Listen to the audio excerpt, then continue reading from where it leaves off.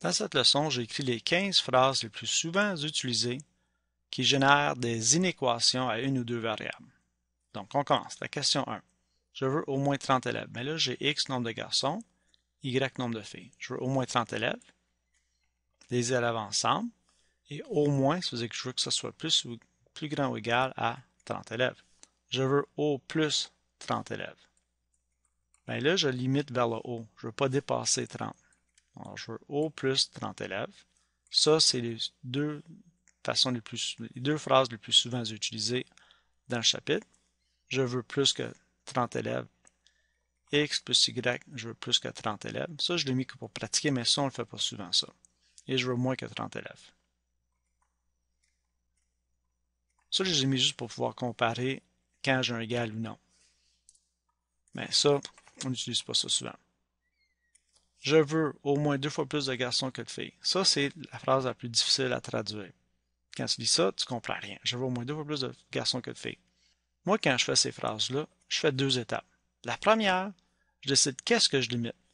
Je veux au moins deux fois plus de garçons. Alors, je veux au moins des garçons. Donc, les garçons, c'est X. Au moins, je veux que ça soit plus grand ou égal à quelque chose. Parce que j'ai besoin au moins des garçons. Et j'écris l'autre variable tout de suite. Ça, c'est la première étape. Là, je lis au moins deux fois plus de garçons que de filles. Qui est-ce que j'en ai plus? J'ai plus de garçons.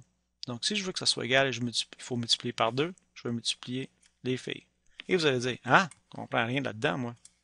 Mais regardez. Disons j'ai deux colonnes. Un, on va l'appeler X, l'autre c'est Y. Et on dit que le X est deux fois plus grand que le Y. Et si je veux que ça soit égal, et le X est deux fois plus grand, lequel que je multiplie pour que ça soit égal? Bien, je multiplie le plus petit de la gang pour que ça devienne égal au plus grand. Donc, on fait le contraire. Si je décide que j'ai plus de garçons, mais ben, je multiplie les filles fois 2. C'est ce que j'ai fait ici.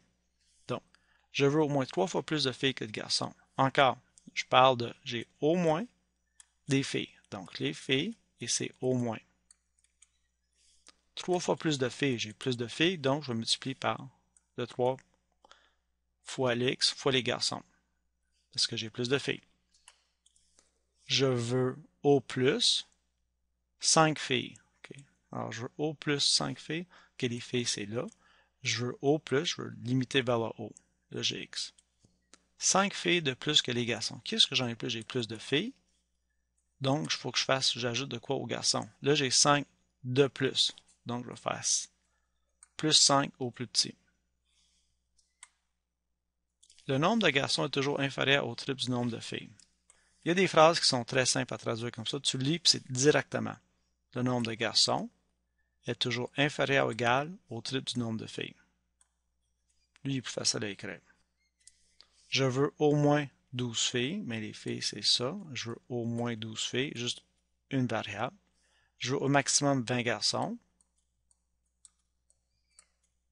je ne veux pas dépasser 20 pour le nombre de garçons. Je veux au plus 3 fois moins de garçons que de filles. Ça, ça me donne un mal de tête. Je veux au moins 3 fois plus de garçons. OK, les garçons, c'est X je veux au plus. Donc, je veux limiter comme ça. Je ne veux pas dépasser quelque chose. Donc, j'écris trois fois moins de garçons que de filles. Je veux trois fois moins de garçons que de filles. Qu'est-ce que j'en ai plus? J'ai pas mal plus de filles là-dedans. Au moins trois fois moins de garçons que de filles. Donc, je vais multiplier les gars pour faire 3, 3. Le nombre de filles est inférieur. Le nombre de filles, là, je pense que je peux le traduire directement, est inférieur au double du nombre de garçons. Lui, directement, tu le lis, il est très facile. Je peux avoir jusqu'à deux fois plus de filles, que ça c'est les filles. Je peux avoir jusqu'à, c'est-à-dire que je limite comme ça.